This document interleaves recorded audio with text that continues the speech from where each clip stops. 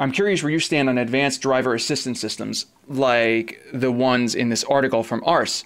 Humans intervened every nine minutes in AAA test of driver assists. Basically, if you read this article right here, it basically says that the level two type of self driving, this means things like lane keeping assist, um, adaptive cruise control, the one that actually does the low speed one, so called uh, stop and go cruise control you had to intervene or a human had to intervene a bunch of times, basically like at least once every nine minutes.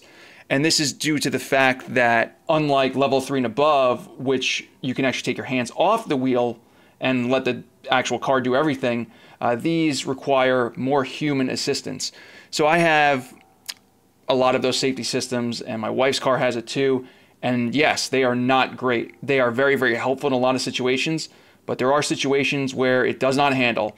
One of them that they actually said in this article, which I'll link in the description, is somebody just cutting in front of you, right? And then you have to basically tap the brakes because the car won't do it automatically fast enough.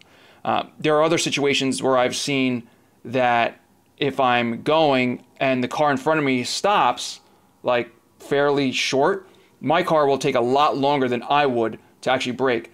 So I don't think level two self driving is actually the way to go. I think these are a stopgap to like level three and above. I am looking forward to the day of not having to actually drive a car myself because driving is monotonous.